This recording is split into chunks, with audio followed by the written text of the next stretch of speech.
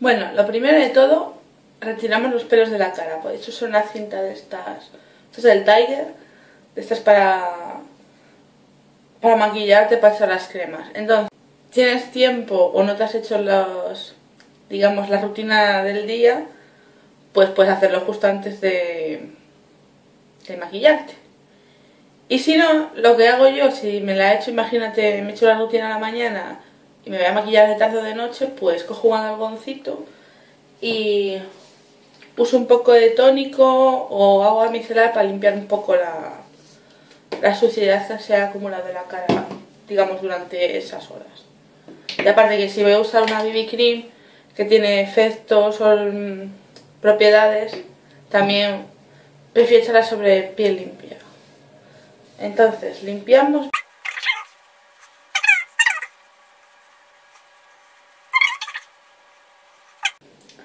Entonces, los pasos para echarte una BB cream o una base cualquiera es muy fácil.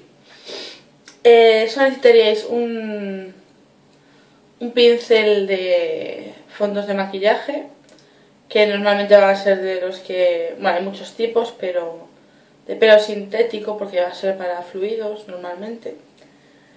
Y la esponja de las que os hablé antes. Y la BB cream o lo que vayáis a echar de fondo de maquillaje y si queréis pues primers como puede ser este, este serum de Essence que yo lo uso un poco como primer porque ayuda con los poros. Yo no tengo poros con lo cual no os puedo decir si ayuda mucho o no. Y para matificar y esto o podéis usar también eh, en los ojos un primer de ojos. Todo depende de lo que vayáis a, a poneros. Si os vais a hacer un maquillaje complicado de ojos Sí que recomiendo usar un primer como este de Too Faced. Llevo bastantes años usándolo y sí que aguanta más los maquillajes. Si la crema BB que usáis por sí sola os aguanta, no sale brillos y demás y os parece que queda bien, pues usa solo la BB. Si pensáis que salen los brillos antes de lo que debería, pues podéis usar una base matificante de, de las miles que hay, o sea, ya en otros vídeos a lo mejor os comentaré los que uso yo. Entonces, si quieres usar un primer, pues con el mismo, mismo pincel de, de fondo de maquillaje, entonces echarías un poco de primer en la mano y vamos a usar la mano como una paleta de pintura al óleo, porque así es más fácil coger la cantidad que desees. Y como este es para matificar y mi problema es la nariz, yo donde suelo insistir es la nariz y la zona de las mejillas, la barbilla y un poco la frente. Y en el resto de la cara, como tengo la piel bien, no me molesto, al menos con este primer, en echar en el... Bueno, que este no es un primer, es un, un serum. O sea que a mí me gusta usarlo como justo antes del maquillaje, porque me va bien. Vale, una vez absorbido, pasamos con el mismo pincel a echar la BB Cream. Y lo mismo, echamos un poquito la mano, mejor de poco a más, por si, para que no sobre, y si sobra se puede echar más, y también cogemos eh, de poco a poco de la mano. He hecho trampas porque tenían el, se me habían quedado el resto ahí. Entonces, se empieza de dentro hacia afuera y no tiene que quedar muy perfecto porque luego la esponja ya, digamos que damos el toque final y ya queda bien.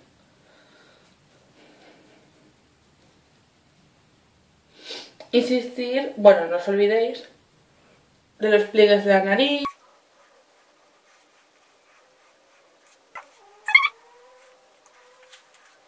Por aquí, por la zona de la, del cuello, extender hacia abajo. Si tenéis un bikini que cubra, podéis usar más capas en las zonas donde necesitéis, sea granos, rojeces o las ojeras. Si cubre un poco, pues os recomiendo usar una un corrector. Si queréis, si estáis echando BB cream, a mí lo que me gusta es usar es un corrector BB cream, como es este de, de Skin, de Skin Chingu. Es un chiste muy malo, cuando me di cuenta hace unos meses me parece muy malo. Que se llama Skin 79, ¿vale? O 79. Eh, si lo lees en números chinos, te queda Chingu. Y Chingu es amigo en coreano. Vamos, uh, los coreanos, super chiste del año, vamos. Yo creo que es tan malo que por eso no lo pillaba. Cosas de coreanos. Si veis me ha quedado muy bien. Tengo rayas, me ha quedado eh, muy gorda en unos lados y otros lados. Da igual, ¿por qué? Ahora con la esponja ya le, va a quedar bien. Entonces, la esponja tenéis que usarla mojada. La mojáis, la escurrís bien, que no gotee. Entonces, el truco es dar a golpecito. Y en la zona de los ojos, que es así como más pequeño, o en las aletillas de la nariz, usar la punta y luego, podéis usar también la punta para aplicar el corrector. Es decir, imaginaros, digo, uy, cuánta ojera. Pues, bueno, algo que me sobró y voy a usar el mismo. Cogéis un poquito y vais a toquecillos y vais corrigiendo las zonas que sea. Puede ser la ojera, los granitos. Usar la punta, digamos, para zonas más pequeñas.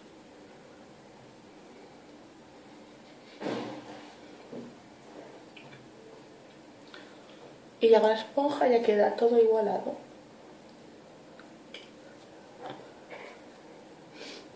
Ya lo único que queda es, si os gusta como, como queda, cada uno es, tiene el gusto como quiera, lo dejáis así. O aplicáis un poco de, polvos compactos o matificantes y ya estaría. Es como me aplico yo las bases, no tiene más ciencia.